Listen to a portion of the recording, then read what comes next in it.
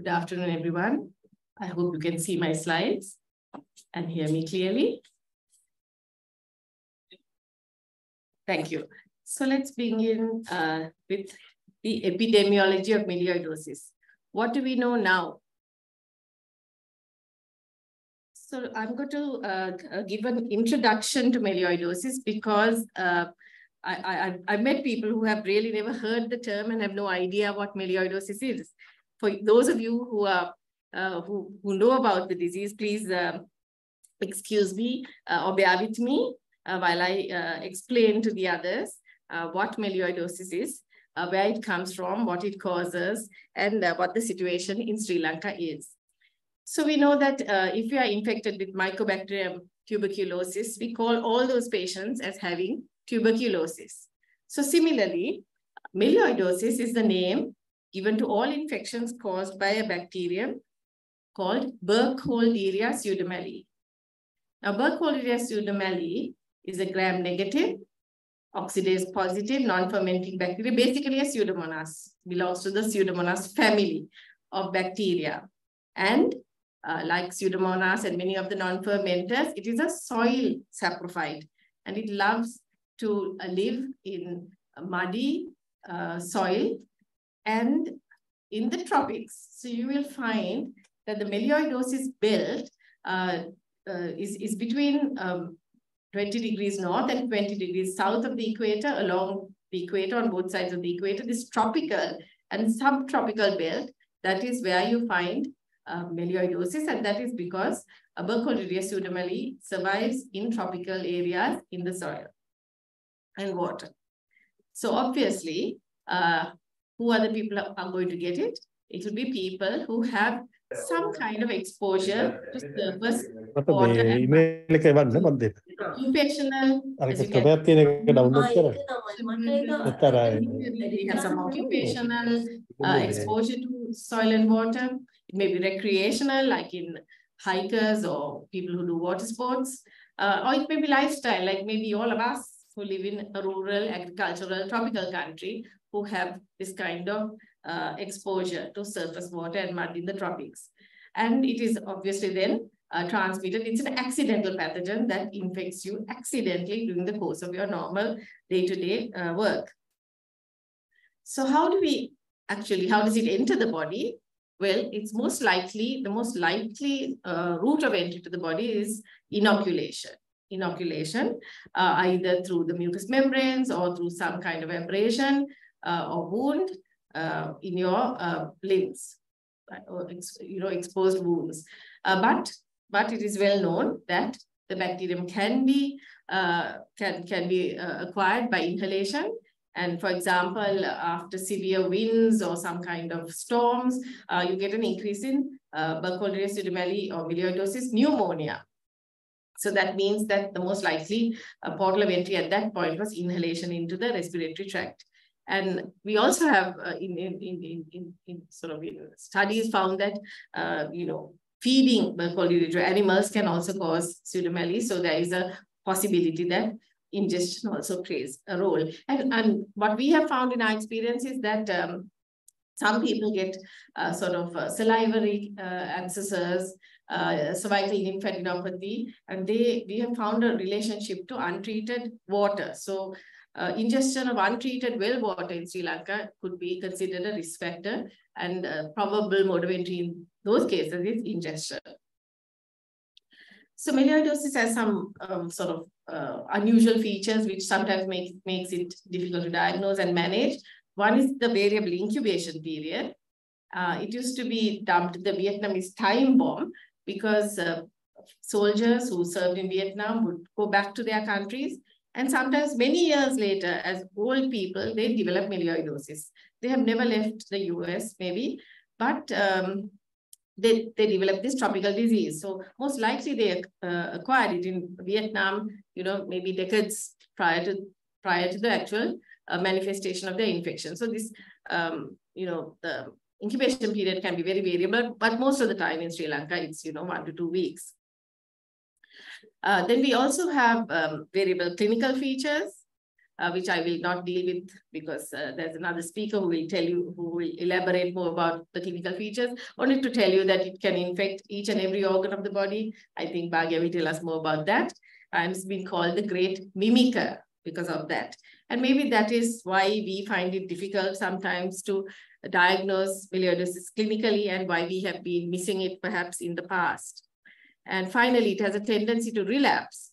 Uh, and um, uh, in fact, uh, previously about 13% of patients in Australia were found to relapse. So it's again a problem of management. We have to follow up these patients and watch out for relapse. And uh, the other speakers will tell you more about that. So, uh, so I told you it's a tropical disease. It's in soil and water, and all of us have exposure to uh, soil and water of the tropics. So how come we are not we are not all having melioidosis? So the reason is that uh, uh the uh, exposure is common. Infection and disease is mostly seen in people with some kind of uh, comorbidity, underlying predispositions, especially diabetes, but any other organ disease. And in children, please remember thalassemia thalassemia, there is a predisposition to acquire uh, melioidosis. So uh, people have done studies about the association between diabetes and melioidosis, and they have said, you know, the, the, the relative risk is like between 7.5 to 100. Uh, that, that's larger than the, you know, relative risk of, uh, of acquiring tuberculosis in diabetic patients. We know that there's an association between diabetes and uh, tuberculosis, but it's even stronger for diabetes and melioidosis. Melioidosis also shows a seasonal variation. So in the wet seasons uh, of these tropical countries, uh, it is increased. And also after severe weather events like heavy rains and winds.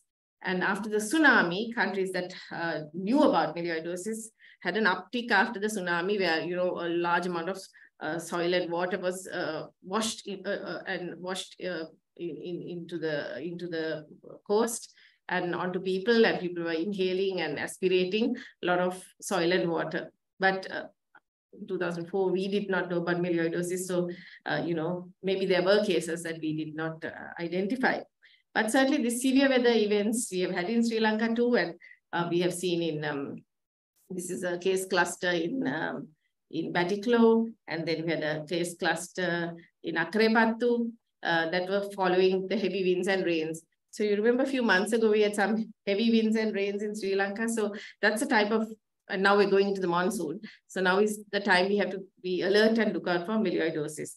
I um, mean, the papers are always talking about dengue and leptospirosis. Certainly we have to look out for those too, but melioidosis should not be forgotten.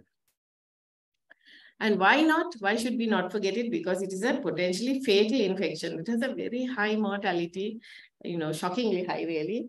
Uh, in Australia, it used to be 20%. I have to say it has improved now to, they managed to bring it down to 9% with early diagnosis, very good uh, diabetic control and ICU care. But in Thailand, I think it's still as high as 50% because they don't have a free um, sort of, um, they don't have a, a free uh, health service like we have here. So when uh, Bhagya talks about the treatment, you'll understand why, uh, you know, it's a very expensive treatment and our free health service uh, is part of the reason why we are getting uh, better uh, outcomes here. So it can be reduced considerably by early diagnosis and effective therapy. I'm not going to talk about the therapy, Bhagya will tell you about it. So for the next few minutes, I'll just tell you about the history of um, melioidosis in the world and Sri Lanka and a little bit about what we know now about the epidemiology. So Burkholderia pseudomallei and melioidosis was first described in uh, Burma, Myanmar, um, by a pathologist there and his uh, uh, and his assistant. Uh, so Whitmore was the pathologist, Krishna Swami was his assistant, and they uh, found uh, um, a disease that resembled an animal disease. There's an animal disease called um, called um, glanders, and this was resembling glanders. Uh, and then they realized it was a completely different disease, and uh, somebody else called it melioidosis. So then after that, there were isolated reports from, say, Vietnam and Thailand and places, but very early in the piece, within uh, six years, there was a case in Sri Lanka. Melioidosis was found in a European, uh, was a tea broker or something in Colombo, uh, described by the director of the uh, Medical Research Institute. It was called the Pasteur Institute at the time, which is. So it was described in Ceylon. That was the name of Sri Lanka at the time, very earlier. In the first maps of melioidosis, the first map that was published in 1966 shows, uh, you know, Ceylon marked as a place with melioidosis. But somehow it got completely forgotten or uh, unknown after the time. And it took till, I think, 1993 when uh, Shalini Pereira, microbiologist at uh, Sri Chandapura, along with uh, Dr. Anula was a physician, they diagnosed a fatal case of uh, melioidosis in Sri Chandapura Hospital. Uh, no, I think it was 2003. So. Anyway, in all the maps, we are described as having sporadic melioidosis. So it was at that time that um, Professor Thevanesam, who is the professor of microbiology at the Faculty of Medicine uh, in Peradeniya, diagnosed two cases in 2006, uh, two cases of melioidosis uh, in the Peradeniya hospital. And uh, she asked me to further at it, and I'll just give you a description of what happened to give an idea, because I think I'd like to inspire all the microbiologists to take a disease, you know, or, and physicians also, and try to look at it, try to dig deep into it. Uh, it might take some years or decades, but you know, there, there's so many uh, infections out there that we are, I think, underdiagnosed. So we had to do things like develop, you know, case definitions, do some active surveillance. We had to develop a reference laboratory with culture facilities. I mean, it's very easy to culture uh, antibody facilities. And best of all, we set up the microbiologists together. The microbiologists are united in forming a sort of a network. And we started looking for it. And of course, even in the public, from the Times, I think, of the sometime there, somebody did a nice graphic. Uh, and we are trying to educate the public also about this uh, infection. So this is just very simply to tell you what happened. So after the first two cases of melioidosis, things were very quiet for some years. In fact, I almost gave up uh, looking for it. Uh, so the first five years, there was hardly anything. Uh, and, you know, I used to always say, okay, this is a rare disease. But then as we started to learn more about it or recognize it more, and especially because of the microbiologist, I would say, uh, suddenly this um, infection, you know, it started showing up, showing up, and not in just one part of the country, but you can see all over the country. So this is when a microbiologist takes up a post in Batticaloa, and then suddenly that whole East Coast lights up with melioidosis. And then somebody goes up to the north to, to Jaffna, microbiologist, and again the north lights up. So it's sometimes I say this is not a map of melioidosis. This is a map of microbiologists because they kind of superimpose. So that went on like this, and you can see, you know, now uh, there's almost too many uh, cases. I, I don't map them anymore because they are all over the country. So it's just to sort of give you an idea that it's there in all the districts and all the provinces. It's there in um, the wet zone and the dry zone. I think it's only the hill country uh, that is uh, sort of without melioidosis. Uh, talking, so you can see, you know, it took a very long time, right? It took almost a, how many, one, two, three, four, five, six, seven, eight, almost a decade, decade before I got any decent results. I mean, it was all right for me. This was like a hobby. So it didn't matter. But uh, if you're young, you might be very um, sort of disheartened and give up after three or four years. So what I'm saying is don't give up if you try hard enough within a decade, you know, you will find uh, your disease. It will be there, I'm sure. Um, right. So um, maybe I should just first show the, oh, okay. So this is, okay, now we'll move on to the last part, a few words on the epidemiology of melioidosis in Sri Lanka. What do we know? So we know it's uh, like everywhere else, it's more predominant in males, but certainly there's a good chunk of females. And don't forget, there are children as well. So if you look at the age distribution, we've even had a neonate and a two-year-old. And we have had a 96-year-old. So it's like across the board. Uh, you can see it in pediatric practice, in uh, you know, in, in, obstetrics. You can see it in, um, in, in, in geriatrics but predominantly, of course, in males at between say 40 to 60, which is of course the diabetic age group. Um, and then again, uh, if you look at the setting, it's very much a rural setting. Sri Lanka is a rural country. This is the normal, you know, um, if you go out half an hour of Colombo. This is what uh, Sri Lanka looks like. So you can see something important to note here is that one thing, everybody does cultivation, which is like this, like breathing in Sri Lanka to cultivate your own pala and things like that. And also we walk barefoot. We walk barefoot. That is our natural state. So it's just ideal conditions to acquire melioidosis. That baby will get down now and start running around.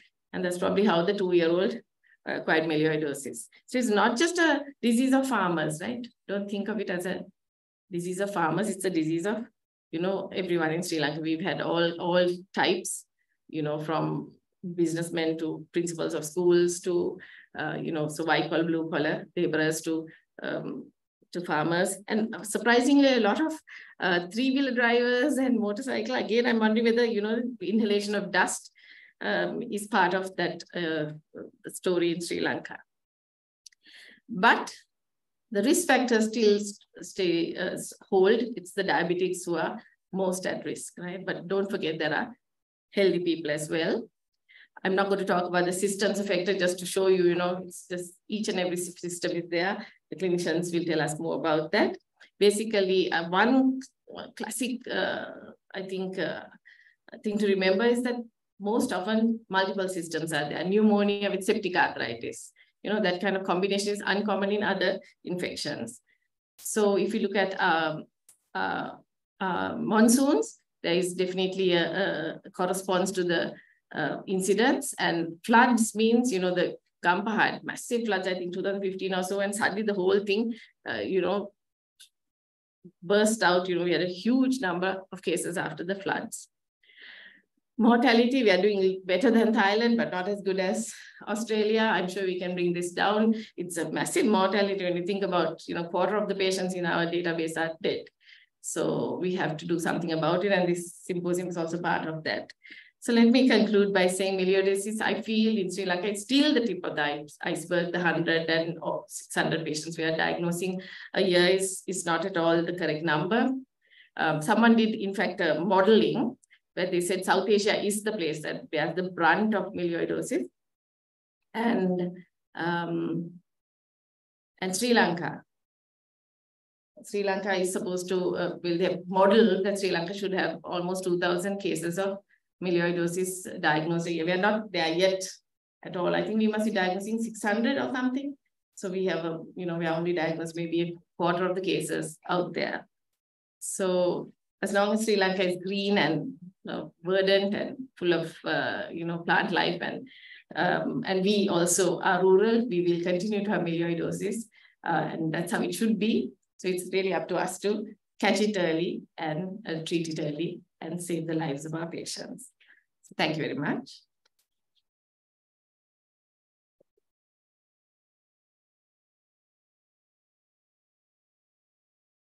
outline of my talk today would be a little bit of introduction on what melioidosis that have been done by Professor Corea. Thank you, madam.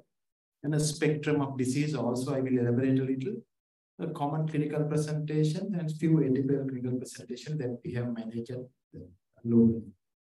So just to start with, I think what we first need to uh, a brief look at uh, what what fastidious organism, what resistant organism is, you know, it, it can survive in variety of hostile conditions.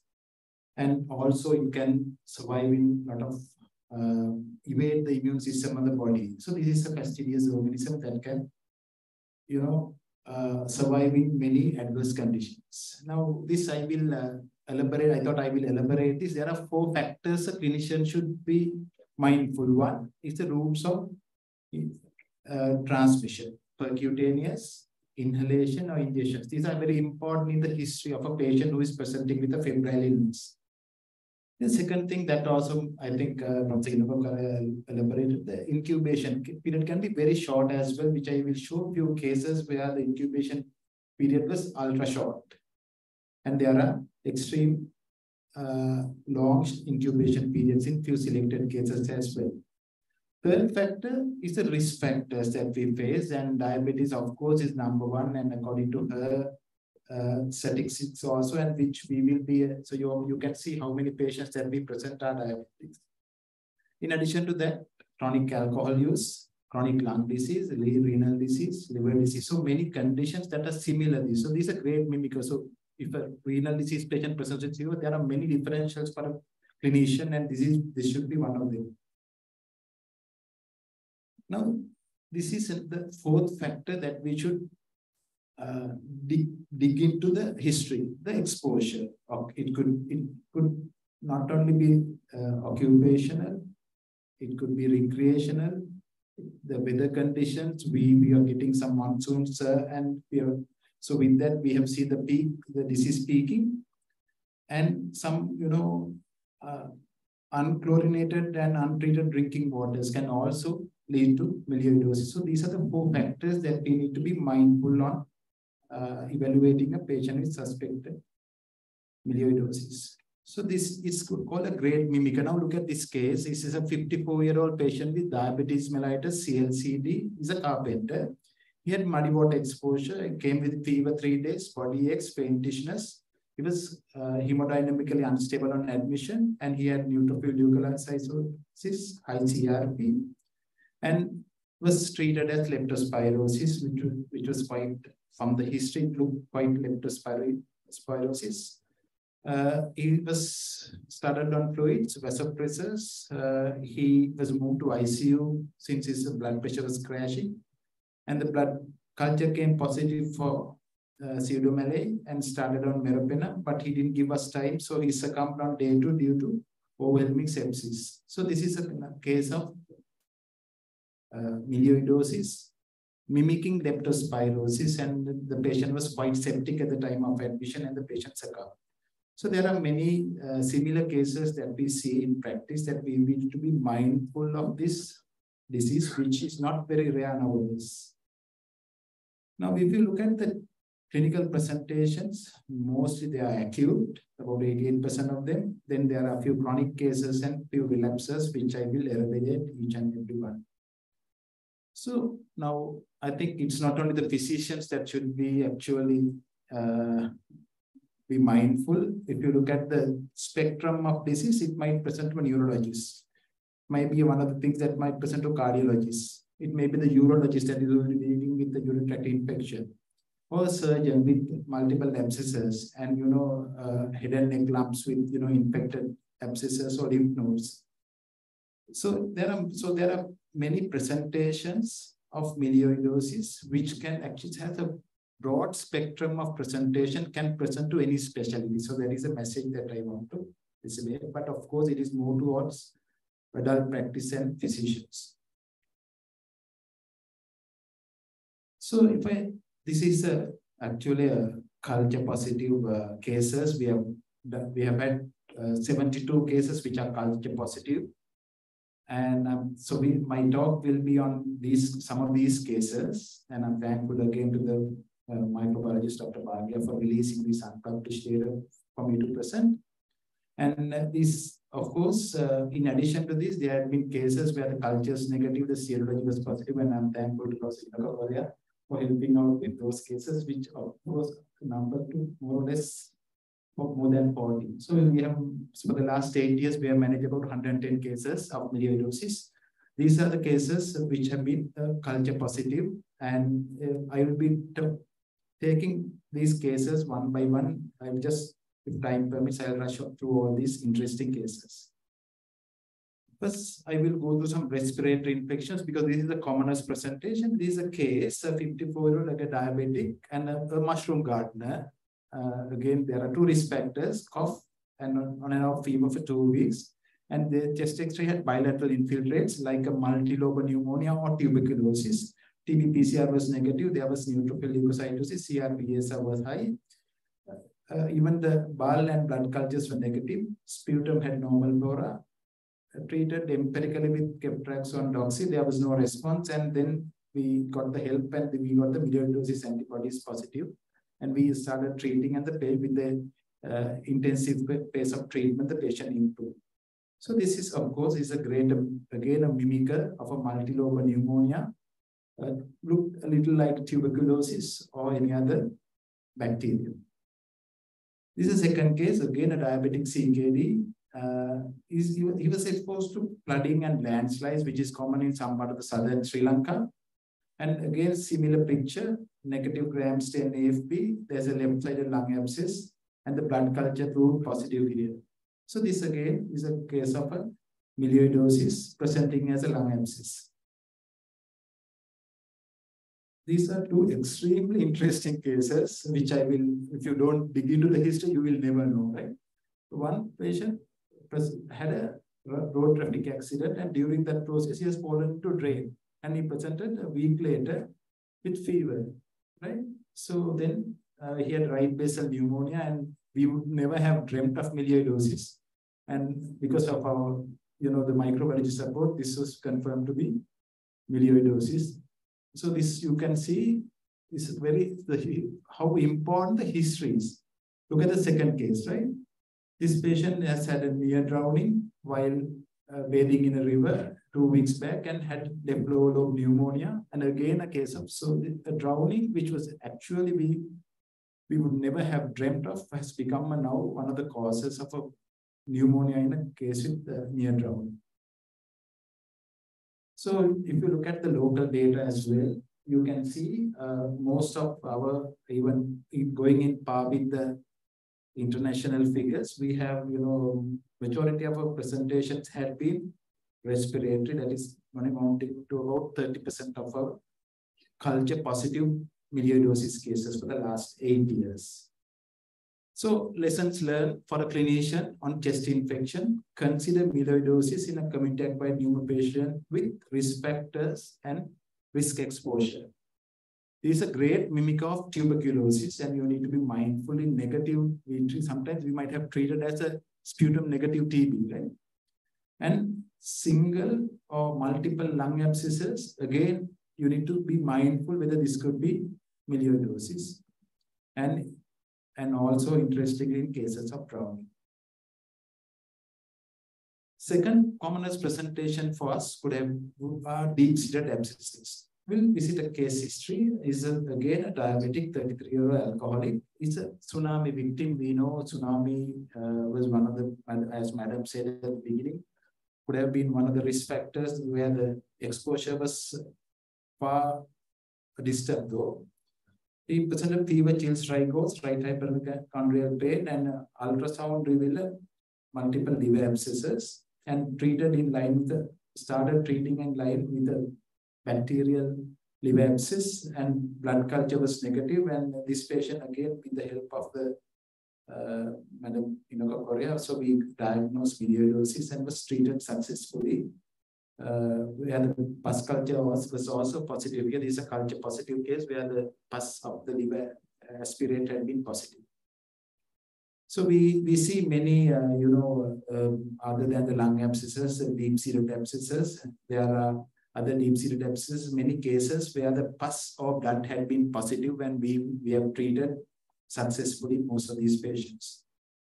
So the lessons learned, consider melioidosis when again the history I'm elaborating again the history is going to be very important risk factors risk exposure.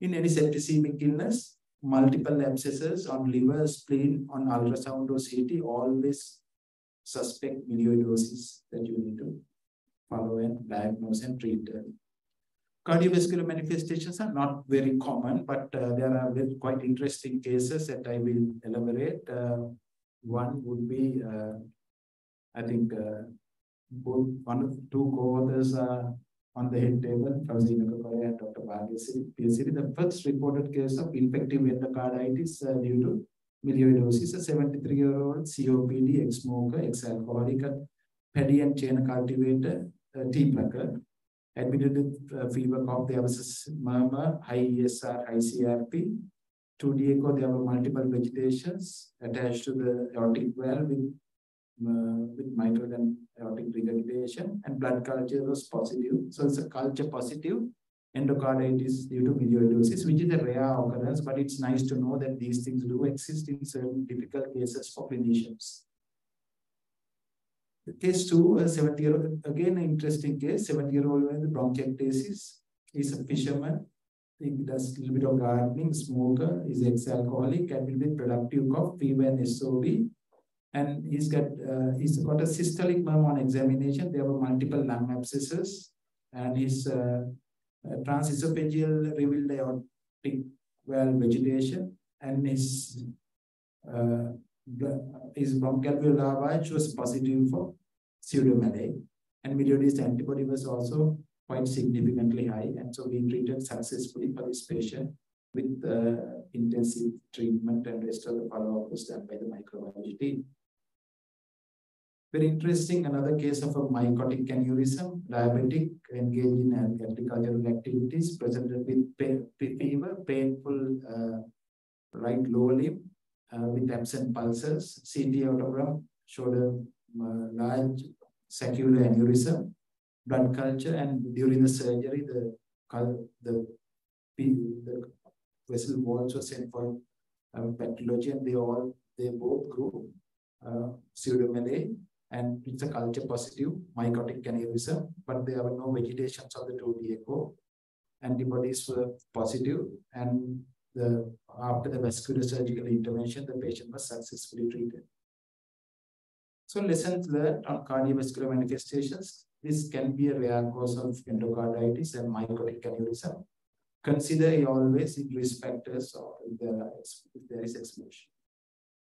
So neurological manifestations, again a rare manifestation. This is an interesting case of, again, a 65-year-old male, a diabetic farmer, alcohol consumer, who presented with uh, acute onset difficulty in walking and urinary retention. He had on and off fever for six months.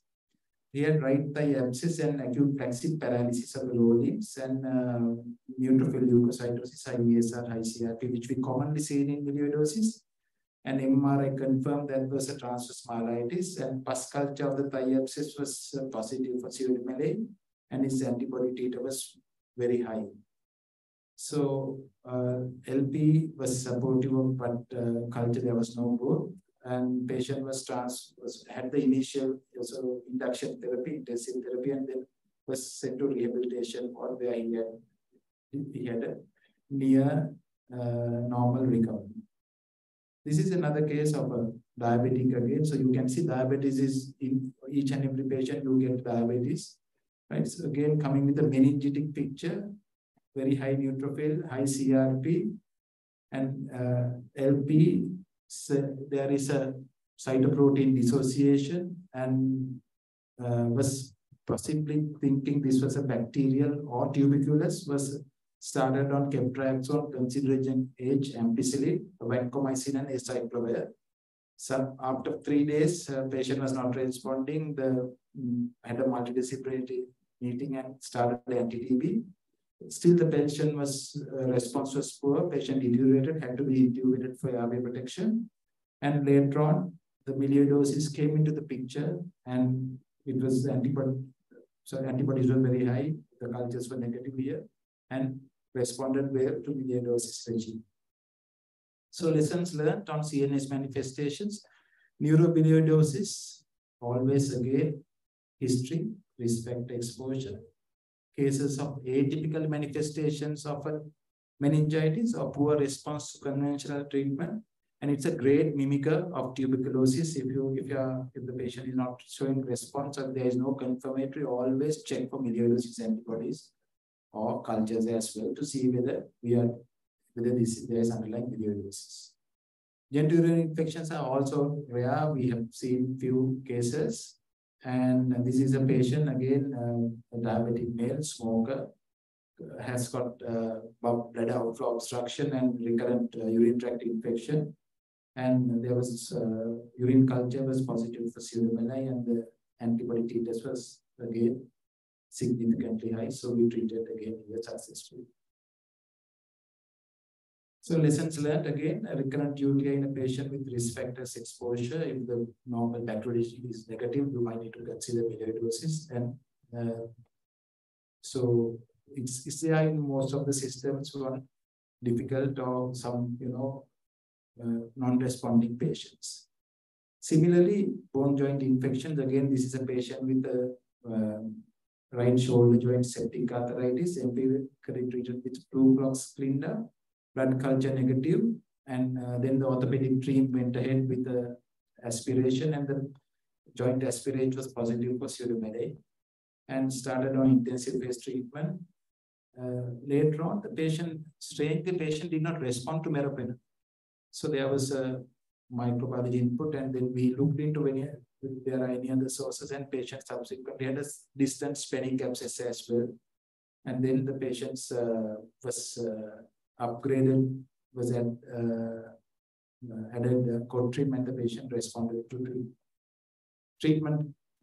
So lessons learned, consider melioidosis in, uh, you know, exposures risk factors in cases with septic arthritis or osteomyelitis. This might be the offending organism. So now this is again, this uh, I think uh, again, look at the samples that we have grown, uh, the, the, bacteria has grown, it is nearly 35% of time it had been blood. And there had been some pus in certain patients who had coming with abscesses. There had been multiple positives, you know, blood cultures, pus, plus uh, pus for melioidosis and sputum, joint fluid, CSF, urine. So the CSF culture positivity, I actually didn't come. It's a pediatric case, uh, which uh, I thought I will not present here since uh, it's a pediatric case. So there had been a CSF uh, culture positive as well. So treatment would be touched by our microbiologist, Dr. Bhagya Siri. So I will just skip this uh, just to let you know that there are two phases of treatment.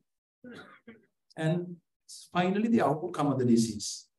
Uh, you can have a complete cure as what I have shown in this most of the cases. You can have recurrences, you can have uh, fatalities as well as uh, very well shown by Professor Enoka So now outcome of our patients uh, uh, of uh, there had been a, this is the outcome of culture positive patients and we had few you know fatalities as well but may, many we have treated successfully. So we'll uh, see what uh, the, some of the you know, relapses. This is a very interesting case which actually I managed when I was at Balapitiya. And oh, now this is a patient, it's a 55 year old patient with poorly controlled diabetes and fever, abdominal pain. He had returned from Malaysia and he had uh, multiple splenic abscesses and it was proven out to be blood culture and antibody positive melioidosis, and he had the uh, intensive phase treatment and discharge on eradication phase where he defaulted.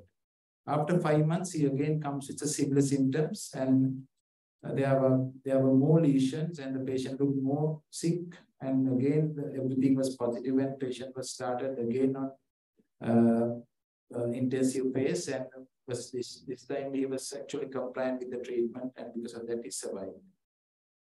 So this is a relapse where the patient had been fully compliant. So now we have had few adverse outcomes also, which this is the latest one, which I will present to you. A 21-year-old patient with a mesangiocapillary glomerulonephritis on tacrolimus and prednisolone and steroid-induced diabetes. So she's definitely immunosuppressed, coming with the left-sided pneumonia. And um, there was an abscess in the thyroid as well. So empirically, meropenem was started since the patient had hemodynamic stability.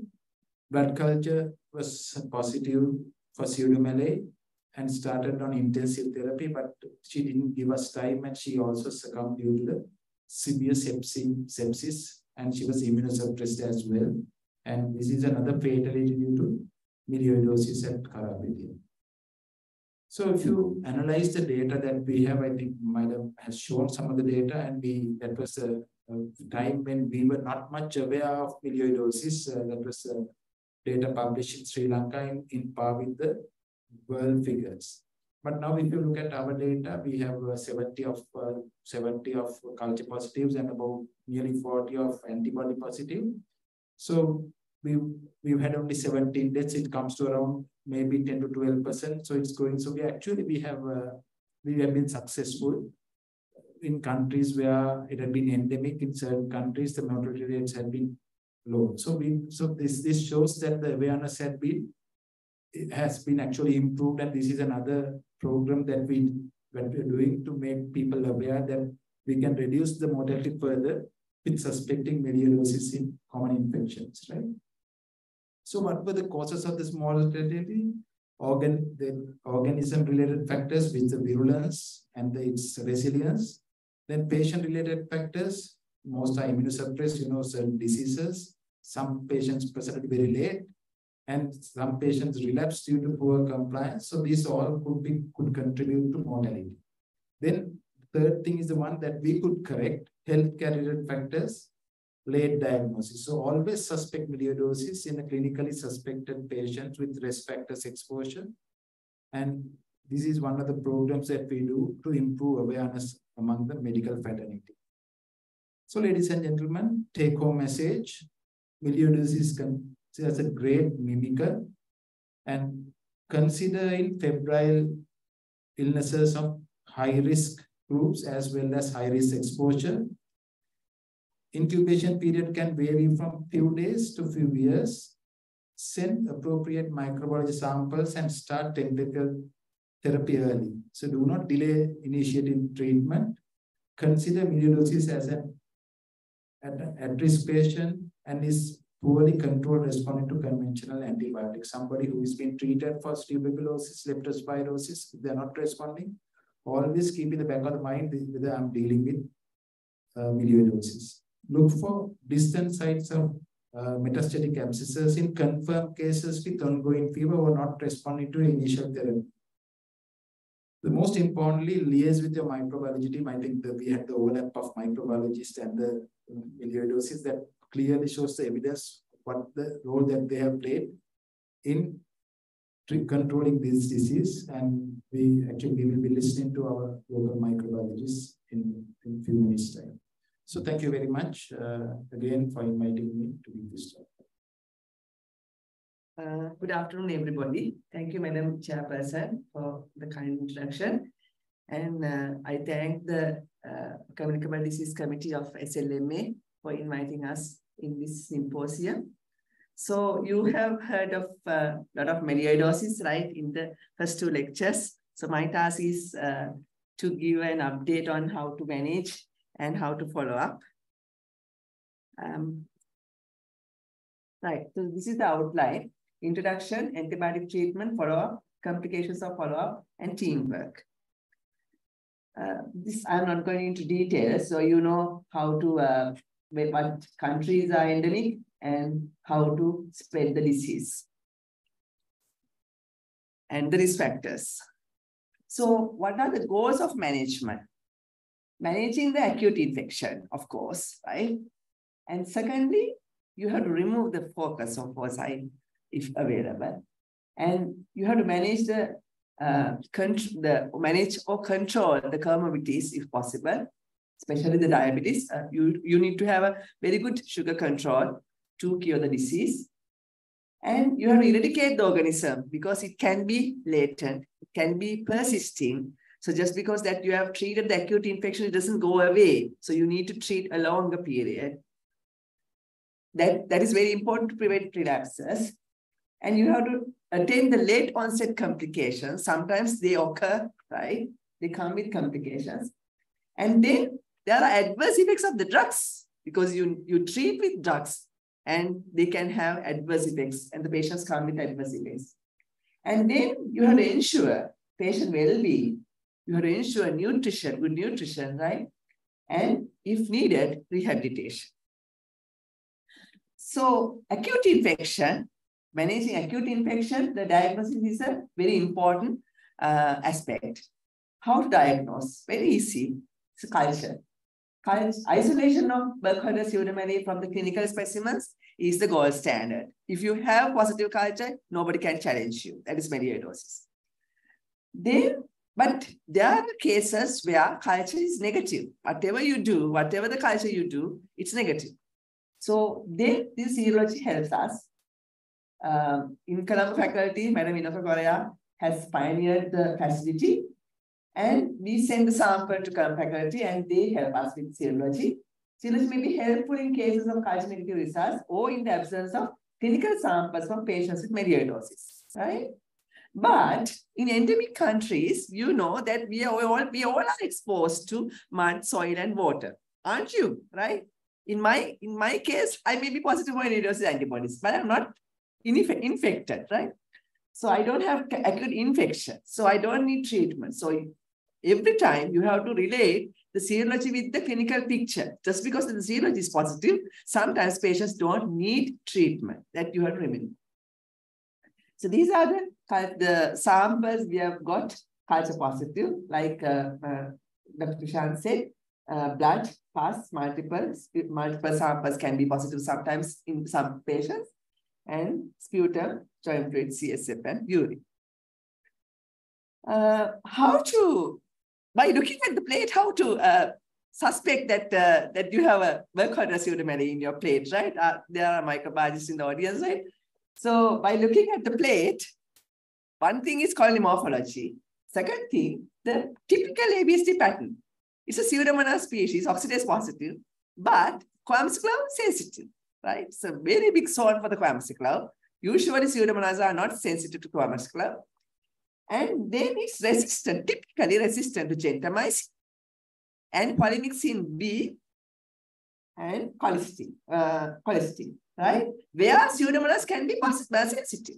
So that's how you differentiate between pseudomonas and um. And acute infection can come with any kind of disease, right? Most respiratory. You are, we have heard of this thing before. And treatment could be antibiotic management or surgical and plus or minus surgical intervention. This is how we treat. We have two phases, the intensive phase and the eradication phase, right? And in the intensive phase, we treat with a carbapenem or uh, ceftazidime plus or minus cotrimoxazole plus or minus doxycycline. In severe disease, actually combine with all three. In the eradication phase, we treat with cotrimoxazole alone or in combination with doxycycline. If the patient has any contraindication, we seek alternatives. When you are treating with cotrimoxazole, we need to uh, accompany that with folic acid. I'll come to that later. So this is the plan of treatment, right? So treat with ceftazidime or meropenem or imipenem with or without cotrimoxazole for more than 14 days, always in the culture positives. But it depends, right? I, I my next slide is uh, showing how long you should treat in each phase. And in the eradication therapy, it's about three to six months, depends on the uh, clinical presentation. According to the MERTH trial in 2013, actually, cotrimoxazole alone can be given. It, it is not inferior to the combination therapy with doxycycline. So actually, now we are practicing it. We used to give Cotrim and Doxy together, but patients are coming with a lot of common, a lot of adverse uh, effects. They were complaining of nausea, vomiting, loss of appetite, right? They, they said that they can't tolerate the doxycycline. So now we have started treating with cotrimoxazole alone, which is actually having the same success. And then cotrimoxazole, the fact you have to remember is that you need to give according to the body weight, not just the same therapy for everybody. It could be um, for an average uh, person, I would give two tablets to hourly, but for a, a bigger build person, about 60 kilos, I would give three tablets twice daily, or else 60 kilos, more than 60 kilos, uh, 60 or uh, 80, maybe average 80 kilos patient, I would give four tablets to 11. So this is one case. Uh, you have heard of this uh, before. The, by, Dr. Krishantha uh, uh, presented the same thing, septic arthritis patient, right? So he said about how the patient didn't respond to meropenem alone. So you can see the fever chart. And then this is the full fever chart. Initially, he was treated with flucloxacillin and clindamycin, but fever didn't respond. And then we added meropenem, sorry, sorry, imipenem with the culture positivity, right? Uh, that time we were not actually 100% sure whether it was pseudomallei. So we empirically we treated with imipenem, but fever again didn't respond. But see the response to Cotrim. When we added cotrimoxazole, there was a prompt treatment response, so the fever subsided and it didn't come again. Same thing, uh, we heard of this one as well, multiple liver abscesses, right? A diabetic patient. So he was on meropenem from the beginning, but uh, fever didn't respond. Only when we added cotrimoxazole, fever started responding. So actually speaking, in our setup, meropenem kept kept alone sometimes will not be effective. You need to add cotrimoxazole. So have a low threshold to add cotrimoxazole in a poorly responding case. So this, this slide is a bit of complex, uh, but it shows how long you should treat. Uh, uncomplicated, less complicated cases, you can treat two weeks of intensive and three months of eradication phase. Right? Mind you, three months of eradication phase. But in, in a complicated, more complicated case like multilobar pneumonia with ICU admission, culture positive, you need to treat three weeks at least in the intensive phase, but same eradication phase of three months. But uh, uh, a case of uh, severe pneumonia or deep-seated abscess, you need to have a longer period of intensive case, maybe four weeks, and same eradication phase of three months. But in osteomyelitis, central nervous system infection, or endocarditis maybe, right? You need to have a longer intensive period. It could be six weeks or eight weeks sometimes. And the eradication phase also longer, uh, more than three months, average six months, especially in the neurological cases and in cardiovascular cases. So how effective this now? You may, you may be thinking now it's very severe disease. Can it be completely cured? Yes, of course. See the show. The now this is uh, this is the mushroom gardener, right? Remember the case, right? Uh, Chancellor presented this very nicely, and she had a uh, TB-like picture and multiple abscesses. See, after one month, the uh, X-ray almost cured, right? Almost the abscess is gone, and after six months, now X-ray looks more towards normal. So we have done it our part, the treatment of the acute infection. Now remove the focus. If you have the focus, whatever you give the treatment, it would not be effective sometimes. How to remove the focus? This is case number four, 47-year-old uh, diabetic, pneumonia with pleural effusion. So you can see the, pleural, the, the effusion part in the right uh, side of the lung. And it was very thick purulent pus coming out in the drainage. So he was, the fever never responded, right? We treated with aggressive, we treated aggressively with meropenem and high dose of cotrimoxazole. But only with the drainage of effusion, he started responding. And gradually, the X-rays uh, getting clearer and clearer. After three months, the X-ray was almost normal. So it can be cured with good treatment, and but you need to treat, you need to have the surgical input as well. So uh, the management of acute illness, we know that antibiotics plus surgery.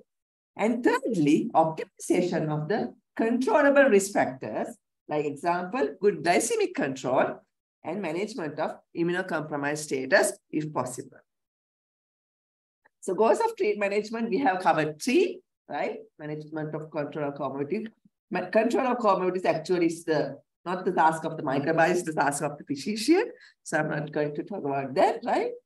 Uh, the fourth factor is eradication of the organism to prevent relapses how now this is this chart you saw initially uh, in the previous lecture how many uh, died right we out of 71 culture positives we had about uh, for 12 deaths and we discharged 55 to follow up right that 55 needs a very good counseling about the compliance they have to adhere to the treatment if they get defaulted, then they will bounce back, right?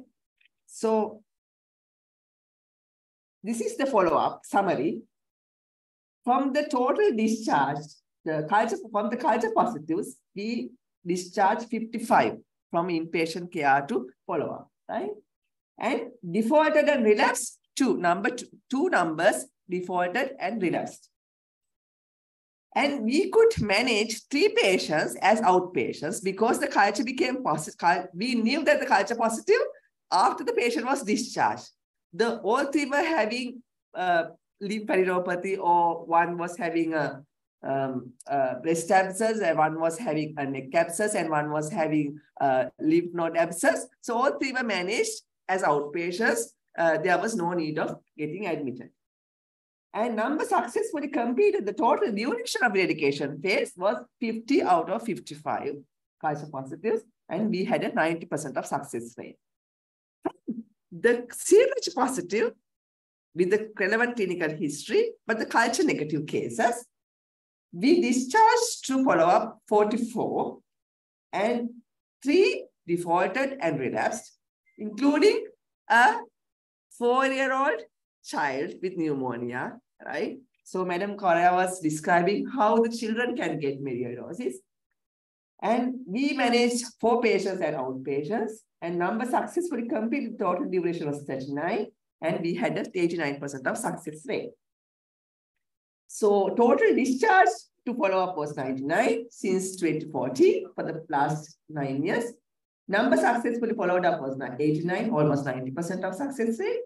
We had five relapses and deaths during follow-up. We had two deaths during follow-up. One was a relapse case. He relapsed and died. And one, one died because of the late onset malignancy. Total mortality rate out of all treated was 17%, uh, not all actually, from the culture, among the culture positives. From the total cases, it was 12% of mortality. The complications of the disease or unrelated during follow-up were occurring for three patients and adverse reactions of the drugs was occurring and needed readjustment in 11 cases. How the recurrences? Now recurrences can be relapse or reinfection. Actually, relapses are commoner than reinfection.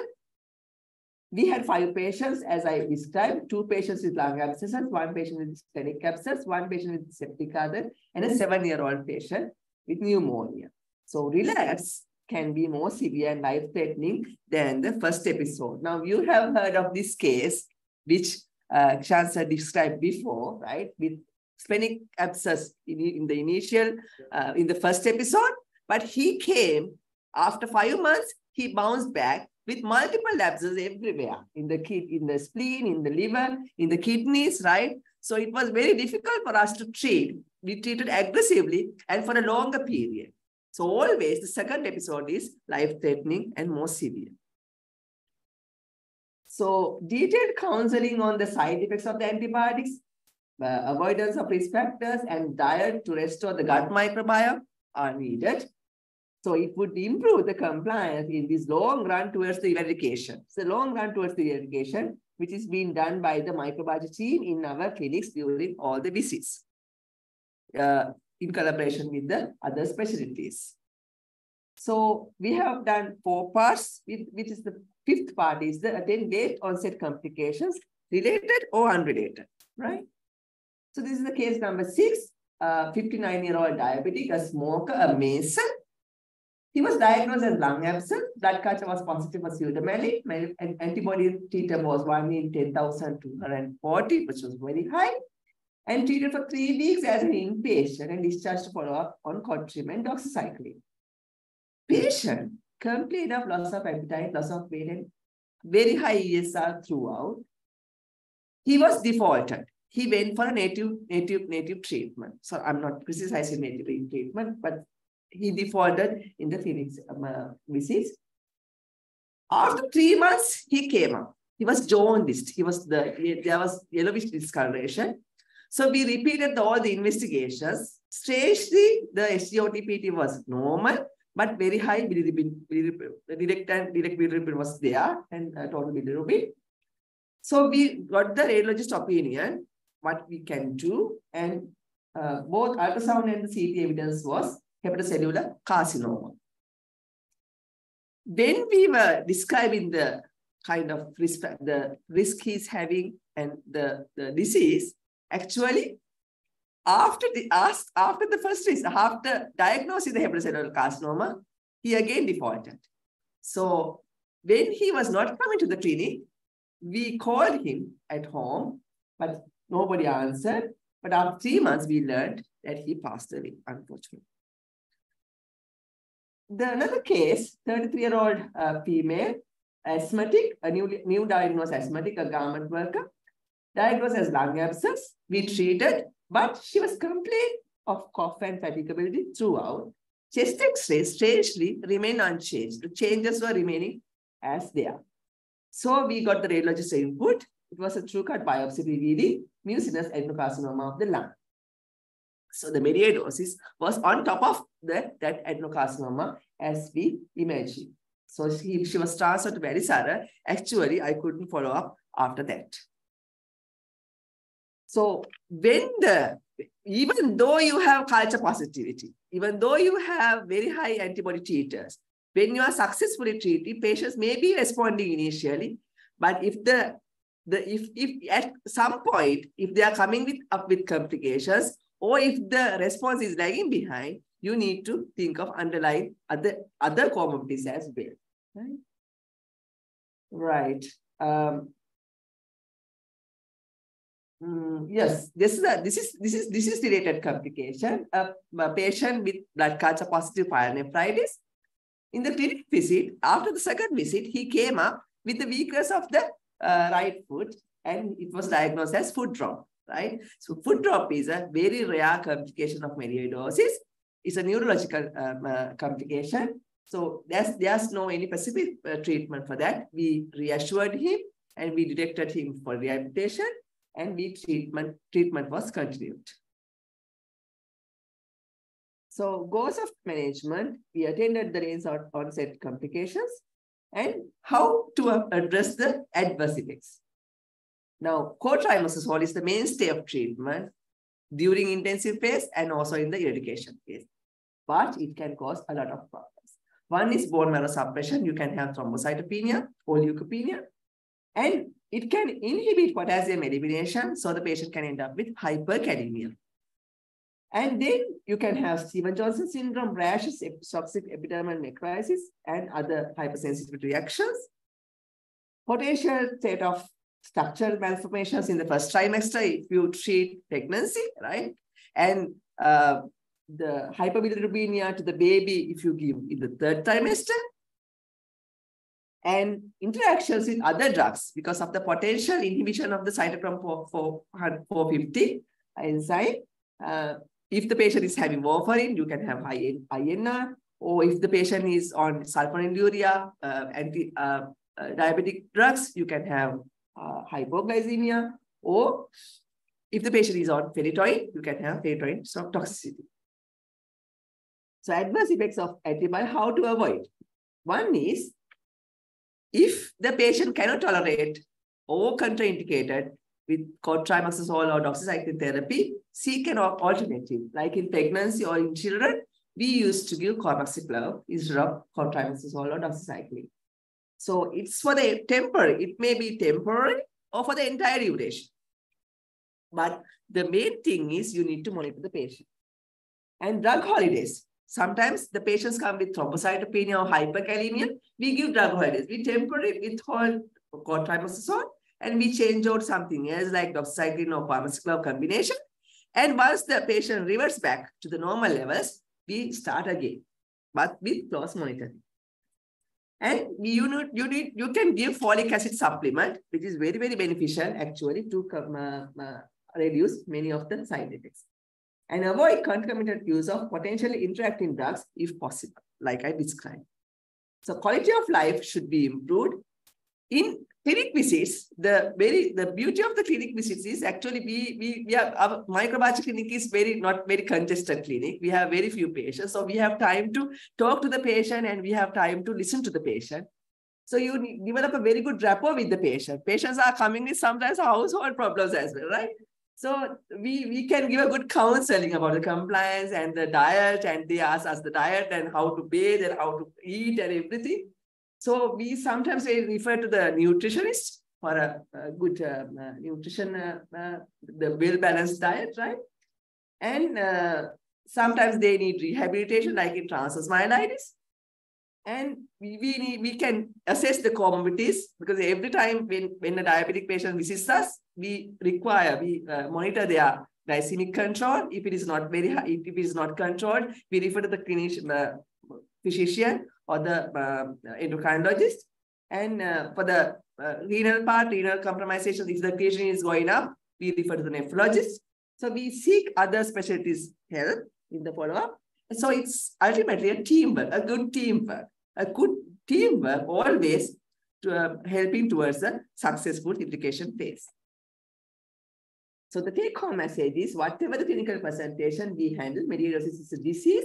When a patient can be saved with the correct and prompt treatment, ideal management, and the close follow-up. Thank you very much. Uh, sorry, uh, I need to uh, actually uh, uh, acknowledge uh, Madam Enoka who raised awareness about melioidosis among the microbiologist even back in 2012 or 20, more, even before that, right? So after that only we were also getting interested. And I'm very thankful to the uh, the physicians and all the other specialties, uh, the consultants in Karapitiya Hospital uh, for us uh, in the close collaboration and uh, helping us to follow up. Uh, so it's like I said, it's a team. Thank you very much.